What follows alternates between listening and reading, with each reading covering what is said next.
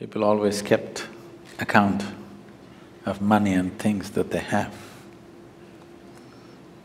But very few people kept, kept accounts of how they are, or they're progressing or regressing or what is happening. People have taken on this mode.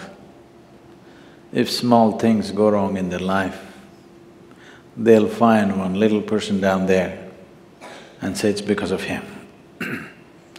Talking about the husband.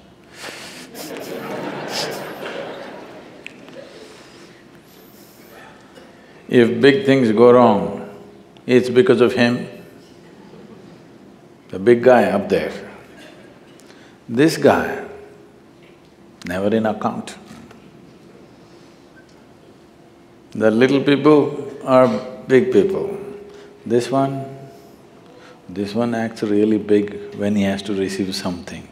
But when he has to give something, he really acts very small. People taken on this mode. This is because there is no clear accounting process and no clear-cut balance sheet. This is where I stand in my life. If there was an accounting process, if you… Shall we make an audit? Yes. Little bit of life audit. When you were five years of age, how joyful you were. Today, how joyful you are. The balance sheet, is it profit or loss? That means it's loss.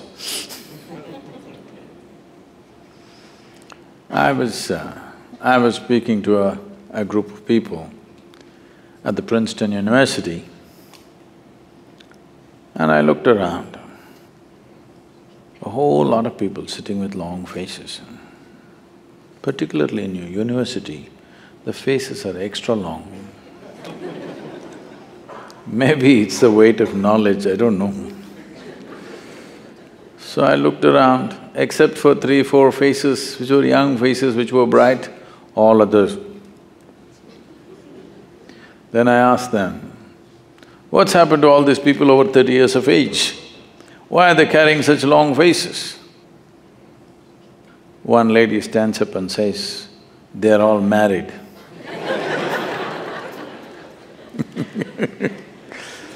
this has happened only because there is no day-to-day -day accounting. Every day before you go to bed, if you had a balance sheet going, today, am I a little better human being or am I a little worse? Every day. If you had accounts, once a year, if there was a clear audit, external audit, then very quickly you would have recovered. But after twenty-five years, one day you realize you are deep in the red. Now very difficult to recover because it's gone to another place. We're to a point where a whole lot of people have an argument that it is not practical to be joyful in the accounting job.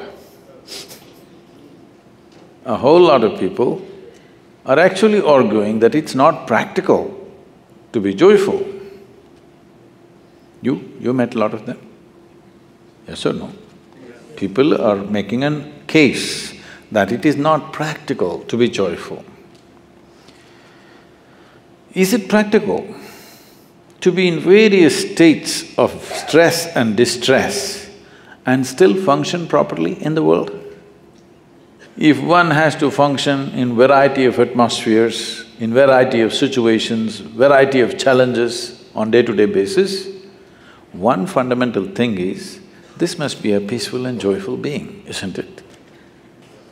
Otherwise, how is it practical that a person under great stress or distress can function effectively in any field or any area of life.